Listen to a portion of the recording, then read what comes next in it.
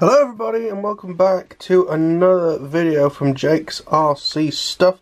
And today I don't really do unboxing videos anymore of things. Well, oh well not unboxing videos, but a um, sort of what came in the mail videos. But I thought I would share this one because from a company that I've never heard of, with some bits from a company that I've never heard of, maybe an in-house brand I don't really know.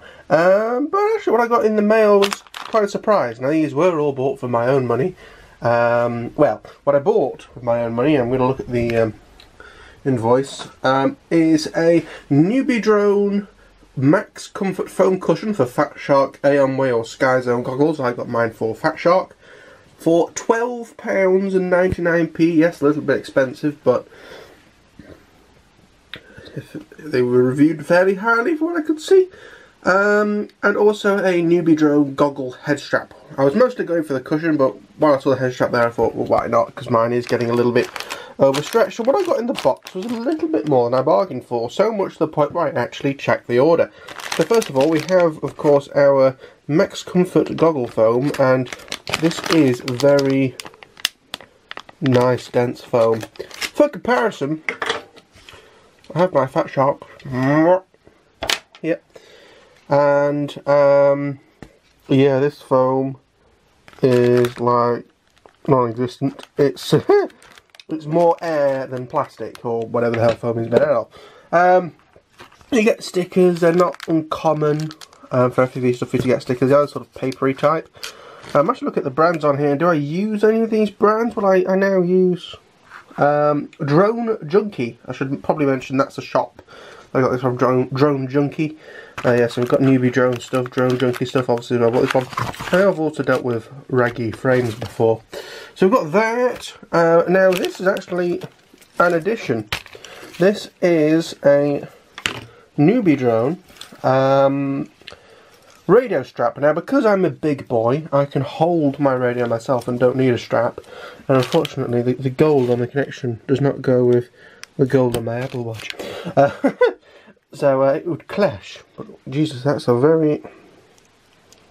Never seen a connection like that before. Uh, but yeah, it has got the plastic clip, so you can leave this bit on your radio, as well as the strap.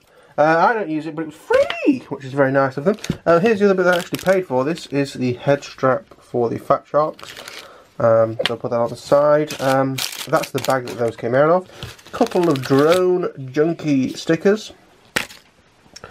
The, these, which confused me slightly. Uh, so it's two of the things to go around your uh, aerial connections, uh, and some googly eyes, uh, and finally a lovely bag of Haribo. So what I'm going to do is move the camera out of the way while I of that box that my address on it. Um, and what I'll quickly do is I will assemble um, all of the items here and give them a quick review, as it were. So uh, See you in a minute. Okay, so I mean, first of all, Haribo's were great. Um, I haven't really tested this because, to be brutally honest with you, I'm not going to use it. That's the strap because I am a big boy, as said previously. Um, so that'll just get hung somewhere as like a pretty ornament. Um, so I've got the strap on. Um, mm -hmm. um, and um, just to sort of, so it is a lot more stretchy, a lot more taut. Um, just to give you an idea how this works, using the old Fat Shark strap, uh, how am I going to do this? So what you need to do when you get it is you'll need to, I'm actually having a look, I may have done it the wrong way around, but we'll, we'll see. So you need to take the end that has the sewn hoop through, and you need to put it through here and then like wrap it over and pull it out through there again. So you can see I've done that. There the hoop is there. And there and then the actual hoop is there. So you need to do that and then hoop hook the hoop in there. And then the hoop on this end just holds that plastic thing. So you would then just put through wherever it is on the strap.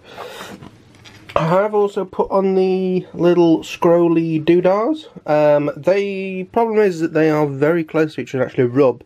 So if you're using a dual setup like this, where they're next to each other, you might have a small problem. Of course, I've glued on my eyes. Um, I did try and see if there's any paper to um, take them off with, but I couldn't get to any, and I've glued them, and unfortunately, I think that right one's actually got stuck, but oh well, it's fairly funny. Uh, pardon me. Um, now, in terms of the actual main thing that I bought, this Gujin mask. It's very good. My my problem always with these Fat Shark goggles is the fact that I have a fat face.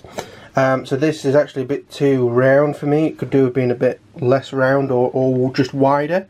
So I get a lot of pressure on these points, but nothing really in the middle. Um, still blocks out all the light, um, which is good, a lot more than the um, old Fat Shark foam is.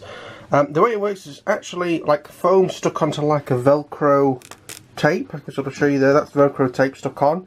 Now with mine, probably possibly easy to show you here. Um, so as you can see, now my, these are Dominator 2s with the back plate that you had to buy separately. Um, now I don't know if the Dominator 3s are different or whatever, um, but so the Velcro tape I actually had to cut, and then this foam is just sort of hanging there. It's, it's, it's kind of hard to film. It's still very nice. In fact, it, it, blocks out more light than the other one did, um, but I did have to sort of trim the tape because it's sticking out slightly. I trimmed the tape so that wasn't trying to stick to your face, uh, but the foam is fine. So, we'll see how it is when you actually wear it for a long time. Um, but so far, very impressed. Uh, I'll keep this Fat Shark strap as a uh, spare. But um, yeah, that hurt my leg that I've injured in possibly a video I will explain soon. Um, it was RC related. Um, quite a story. Uh, but yeah, that's the NewBeeDrone strap and faceplate and everything like that. Not faceplate, but face foam. Trying to get all the old Fat Shark crappy foam off was a real nightmare. Um, but yeah, that's that done. And um, yeah, hopefully you just enjoy this sort of video I decided to make on the fly.